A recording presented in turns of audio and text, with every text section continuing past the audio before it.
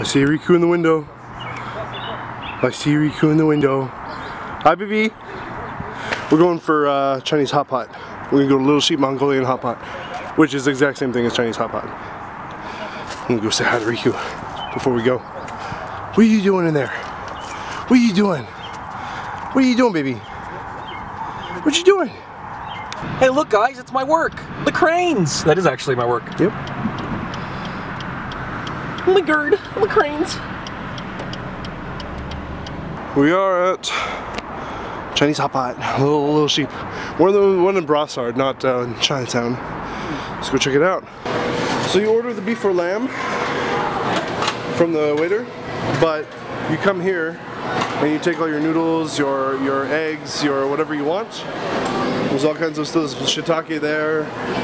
There's uh, tofu here. Lots of stuff. It's all kinds of uh, More mushrooms. all kinds of stuff. That's yeah. It's oyster, I think. So you get all your stuff here. I'm gonna go make a sauce. There's desserts here.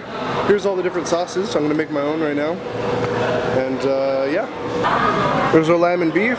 Here's our half and half hot pot. There's the sauce I made. It's really good. And we're gonna dig in. So I got some enoki mushrooms, I got some dumplings, I've got some tofu, I got some crab stick, a cheese ball, some other mushrooms, uh, wood ear, enoki dake I already said. Anyway, I'm gonna dig in now. She brings it too. We already got our broth in a boil. It's going really good. Um, three. Three, three, yeah. So our broth is boiling and we've been eating for a while. It's fucking really good. The broth here isn't as flavorful as the one in Chinatown though, for some reason. even white people food. And he's eating white people food. Fucking broccoli. How dare he? I've been eating tofu and shiitake mushroom and enoki mushroom and all this all this Asian shit. He's oh oh look at that. He's got watercress.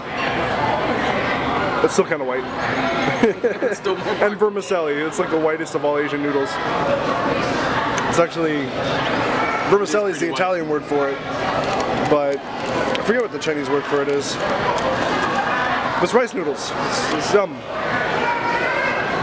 yeah.